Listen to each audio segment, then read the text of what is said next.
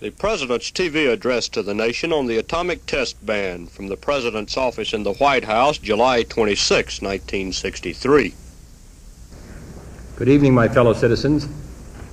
I speak to you tonight in a spirit of hope. 18 years ago, the event of nuclear weapons changed the course of the world, as well as the war. Since that time, all mankind has been struggling to escape from the darkening prospect of mass destruction on Earth. In an age when both sides have come to possess enough nuclear power to destroy the human race several times over, the world of communism and the world of free choice have been caught up in a vicious circle of conflicting ideology and interest. Each increase of tension has produced an increase of arms. Each increase of arms has produced an increase of tension. In these years, the United States and the Soviet Union have frequently communicated suspicion and warnings to each other, but very rarely hope. Our representatives have met at the summit and at the brink. They have met in Washington and in Moscow, in Geneva, and at the United Nations. But too often these meetings have produced only darkness, discord, or disillusion. Yesterday, a shaft of light cut into the darkness. Negotiations were concluded in Moscow on a treaty to ban all nuclear tests in the atmosphere, in outer space, and underwater. For the first time, an agreement has been reached on bringing the forces of nuclear destruction under international control, a goal first sought in 1946 when Bernard Baruch presented a comprehensive control plan to the United Nations. That plan and many subsequent disarmament plans, large and small, have all been blocked by those opposed to international inspection. A ban on nuclear tests, however, requires on the spot inspection only for underground tests. This nation now possesses a variety of techniques to detect the nuclear tests of other nations, which are conducted in the air or underwater. For such tests produce unmistakable signs which our modern instruments can pick up. The treaty initialed yesterday, therefore, is a limited treaty which permits continued underground testing and prohibits only those tests that we ourselves can police. It requires no control posts, no on site inspection, no international body. We should also understand that it has other limits as well.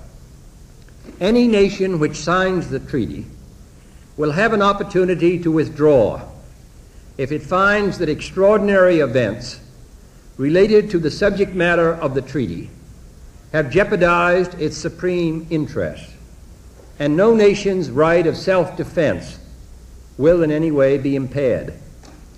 Nor does this treaty mean an end to the threat of nuclear war. It will not reduce nuclear stockpiles. It will not halt the production of nuclear weapons. It will not restrict their use in time of war. Nevertheless, this limited treaty will radically reduce the nuclear testing which would otherwise be conducted on both sides. It will prohibit the United States, the United Kingdom, the Soviet Union, and all others who sign it from engaging in atmospheric tests which have so alarmed mankind and it offers to all the world a welcome sign of hope. For this is not a unilateral moratorium, but a specific and solemn legal obligation. While it will not prevent this nation from testing underground or from being ready to conduct atmospheric tests if the acts of others so require, it gives us a concrete opportunity to extend its coverage to other nations and later to other forms of nuclear tests.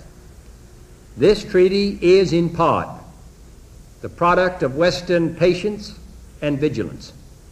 We have made clear, most recently in Berlin and Cuba, our deep resolve to protect our security and our freedom against any form of aggression. We have also made clear our steadfast determination to limit the arms race. In three administrations, our soldiers and diplomats have worked together to this end, always supported by Great Britain. Prime Minister Macmillan joined with President Eisenhower in proposing a limited test ban in 1959, and again with me in 1961 and 1962. But the achievement of this goal is not a victory for one side. It is a victory for mankind. It reflects no concessions either to or by the Soviet Union. It reflects simply our common recognition of the dangers in further testing. This treaty is not the millennium. It will not resolve all conflicts or cause the communists to forego their ambitions or eliminate the dangers of war. It will not reduce our need for arms or allies or programs of assistance to others. But it is an important first step, a step towards peace, a step towards reason, a step away from war. Here is what this step can mean to you and to your children and your neighbors. First, this treaty can be a step towards reduced world tension and broader areas of agreement. The Moscow talks have reached no agreement on any other subject, nor is this treaty conditioned on any other matter. Under Secretary Harriman made it clear that any non aggression arrangements across the division in Europe would require full consultation with our allies and full attention to their interests. He also made clear our strong preference for a more comprehensive treaty banning all tests everywhere, and our ultimate hope for general and complete disarmament. The Soviet government, however, is still unwilling to accept the inspection such goals require.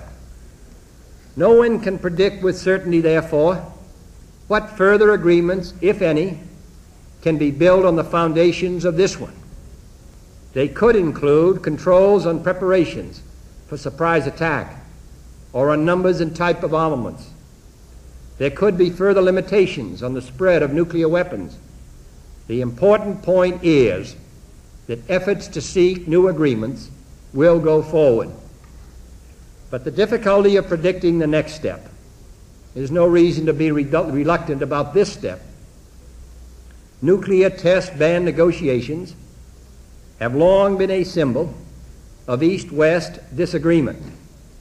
If this treaty can also be a symbol, if it can symbolize the end of one era and the beginning of another, if both sides can, by this treaty, gain confidence and experience in peaceful collaboration, then this short and simple treaty may well become an historic mark in man's age old pursuit of peace. Western policies have long been designed to persuade the Soviet Union to renounce aggression, direct or indirect, so that their people and all people may live and let live in peace. The unlimited testing of new weapons of war cannot lead towards that end. But this treaty, if it can be followed by further progress, can clearly move in that direction. I do not say that a world without aggression or threats of war would be an easy world. It will bring new problems, new challenges from the communists, new dangers of relaxing our vigilance or of mistaking their intent. But those dangers pale in comparison to those of the spiraling arms race and a collision course towards war. Since the beginning of history, war has been mankind's constant companion. It has been the rule, not the exception. Even a nation as young and as peace loving as our own has fought through eight wars, and three times in the last two years and a half, I have been required to report to you as President that this nation and the Soviet Union stood on the verge of direct military confrontation in Laos, in Berlin, and in Cuba. A war today or tomorrow, if it led to nuclear war, would not be like any war in history. A full scale nuclear exchange lasting less than 60 minutes with the weapons now in existence could wipe out more than 300 million Americans, Europeans, and Russians, as well as untold millions elsewhere. And the survivors, as Chairman Khrushchev warned the communist Chinese, the survivors would envy the dead, for they would inherit a world so devastated by explosion and poison and fire that today we cannot even conceive of its horrors. So let us try to turn the world away from war. Let us make the most of this opportunity and every opportunity to reduce tension, to slow down the perilous nucleus, nuclear arms race, and to check the world's slide towards final annihilation. Second, this treaty can be a step towards freeing the world from the fears and dangers of radioactive fallout. Our own atmospheric tests last year were conducted under conditions which restricted such fallout to an absolute minimum. But over the years, the number and the yield of weapons tested have rapidly increased, and so have the radioactive hazards from such testing. Continued, unrestricted testing by the nuclear powers, joined in time by other nations, which may be less adept in limiting pollution, will increasingly contaminate the air that all of us must breathe. Even then, the number of children and grandchildren with cancer in their bones, with leukemia in their blood, or with poison in their lungs might seem statistically small to some in comparison with natural health hazards. But this is not a natural health hazard, and it is not a statistical issue. The loss of even one human life, or the malformation of even one baby, who may be born long after all of us have gone, should be of concern to us all. Our children and grandchildren are not merely statistics towards which we can be indifferent, nor does this affect the nuclear powers alone. These tests befoul the air of all men and all nations, the committed and the uncommitted alike, without their knowledge and without their consent. That is why the continuation of atmospheric testing causes so many countries to regard all nuclear powers as equally evil. And we can hope that its prevention will enable those countries to see the world more clearly while enabling all the world to breathe more easily.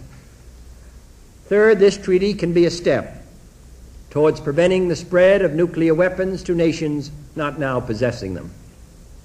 During the next several years, in addition to the four current nuclear powers, a small but significant number of nations will have the intellectual, physical, and financial resources to produce both, produce both nuclear weapons and the means of delivering them. In times, it is estimated, many other nations will have either this capacity or other ways of obtaining nuclear warheads, even as missiles can be commercially purchased today. I ask you to stop and think for a moment what it would mean to have nuclear weapons in so many hands in the hands of countries large and small, stable and unstable, responsible and irresponsible, scattered throughout the world. There would be no rest for anyone then, no stability, no real security, and no chance of effective disarmament. There would only be the increased chance of accidental war and an increased necessity for the great powers to involve themselves in what otherwise would be local conflicts. If only one thermonuclear bomb were to be dropped on any American, Russian, or any other city, whether it was launched by accident or design, by a madman or by an enemy, by a large nation or by a small, from any corner of the world, that one bomb could release more destructive power on the inhabitants of that one helpless city than all the bombs dropped in the Second World War. Neither the United States, nor the Soviet Union, nor the United Kingdom, nor France can look forward to that day with equanimity. We have a great obligation.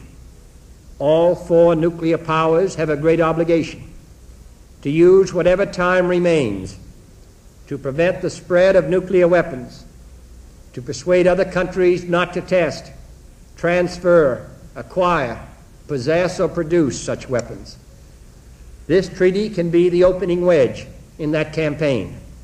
It provides that none of the parties will assist other nations to test in the forbidden environments. It opens the door for further agreements on the control of nuclear weapons. And it is open for all nations to sign. For it is in the interest of all nations. And already we have heard from a number of countries who wish to join with us promptly. Fourth and finally, this treaty can limit the nuclear arms race in ways which, on balance, will strengthen our nation's security far more than the continuation of unrestricted testing. For in today's world, a nation's security does not always increase as its arms increase when its adversary is doing the same. And unlimited competition in the testing and development of new types of destructive nuclear weapons will not make the world safer for either side. Under this limited treaty, on the other hand, the testing of other nations could never be sufficient to offset the ability of our strategic forces to deter or survive a nuclear attack and to penetrate and destroy an aggressor's homeland. We have, and under this treaty, we will continue to have, the nuclear strength that we need.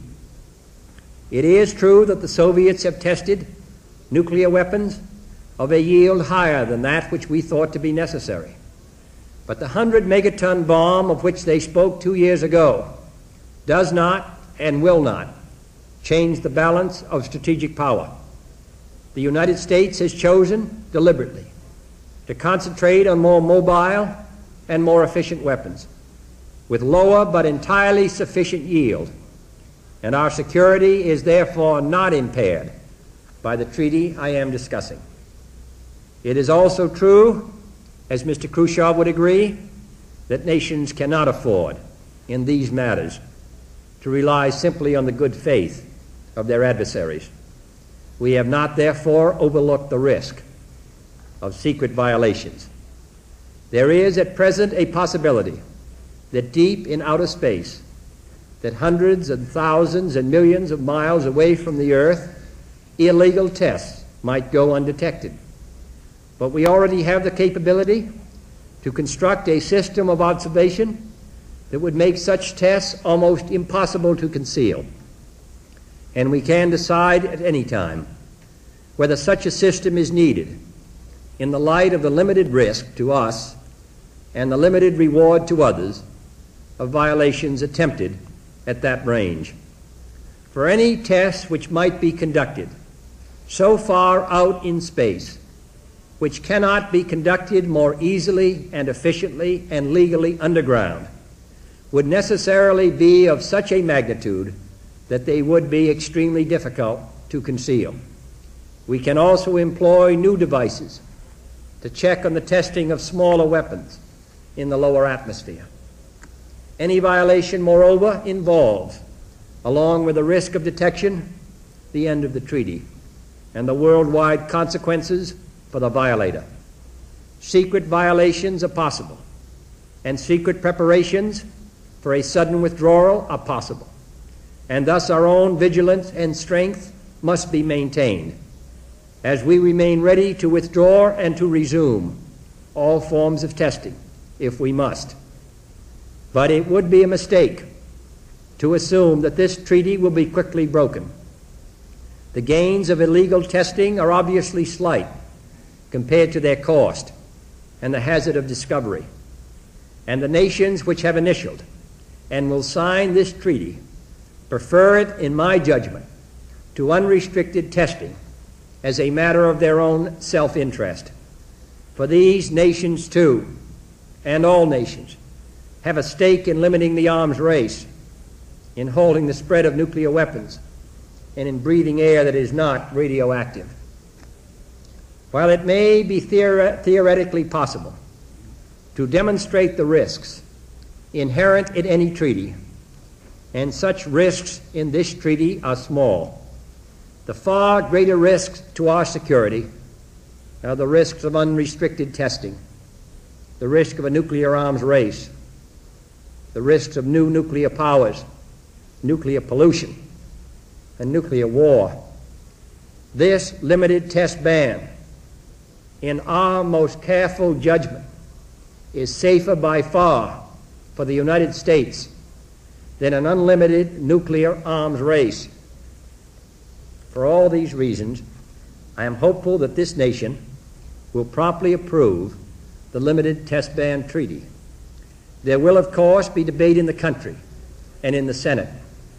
The Constitution wisely requires the advice and consent of the Senate to all treaties, and that consultation has already begun. All this is as it should be a document which may mark an historic and constructive opportunity for the world deserves an historic and constructive debate. It is my hope that all of you will take part in that debate, for this treaty is for all of us.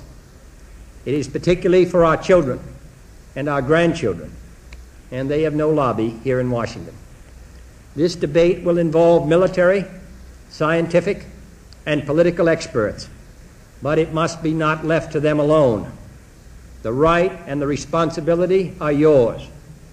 If we are to open new doorways to peace, if we are to seize this rare opportunity for progress, if we are to be as bold and far-sighted in our control of weapons as we have been in their invention, then let us now show all the world, on this side of the wall and the other, that a strong America also stands for peace. There is no cause for complacence. We have learned in times past that the spirit of one moment or place can be gone in the next. We have been disappointed more than once, and we have no illusions now that there are shortcuts in the road to peace. At many points around the globe, the communists are continuing their efforts to exploit weakness and poverty. Their concentration of nuclear and conventional arms must still be deterred. The familiar contest between choice and coercion, the familiar places of danger and conflict, are all still there in Cuba, in Southeast Asia, in Berlin, and all around the globe, still requiring all the strength and the vigilance that we can muster. Nothing could more greatly damage our cause than if we and our allies were to believe that peace has already been achieved and that our strength and unity were no longer required. But now, for the first time in many years, the path of peace may be open. No one can be certain what the future will bring. No one can say whether the time has come for an easing of the struggle. But history and our own conscience will judge us harshly if we do not now make every effort to test our hopes by action. And this is the place to begin. According to the ancient Chinese proverb, A journey of a thousand miles must begin with a single step. My fellow Americans, let us take that first step. Let us, if we can, step back from the shadows of war and seek out the way of peace. And if that journey is a thousand miles or even more, let history record that we, in this land, at this time, took the first step. Thank you, and good night.